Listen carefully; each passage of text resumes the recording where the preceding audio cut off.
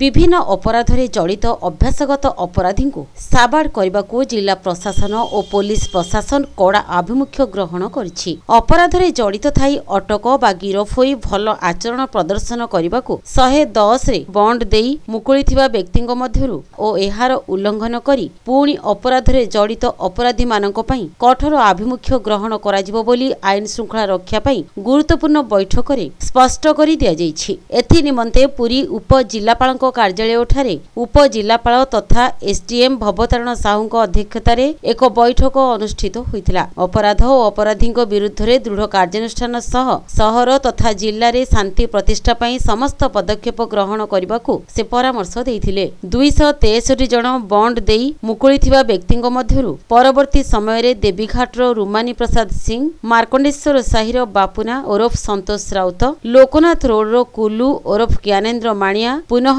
ଅପରାଧରେ ଜଡ଼ିତ ହେଉଥିବା ଜଣାଯାଇଛି। ସିଆରପିସି ଧାରା ଶହେ ବାଇଶ ୱାନ୍ ବି ଅନୁଯାୟୀ ଭଲ ବ୍ୟବହାର ପାଇଁ ବଣ୍ଡ ଦେଇ ମୁକୁଳିଥିବା ବ୍ୟକ୍ତି ଯଦି ପୁଣି ଅପରାଧରେ ଜଡ଼ିତ ହୁଏ ତେବେ ବଣ୍ଡରେ ଉଲ୍ଲେଖ ତିନି ବର୍ଷରୁ ବାକି ଥିବା ସମୟର ସଜା ତାକୁ ଭୋଗିବାକୁ ପଡ଼ିବ ବୋଲି ଶ୍ରୀ ସାହୁ ସ୍ପଷ୍ଟ କରିଦେଇଥିଲେ।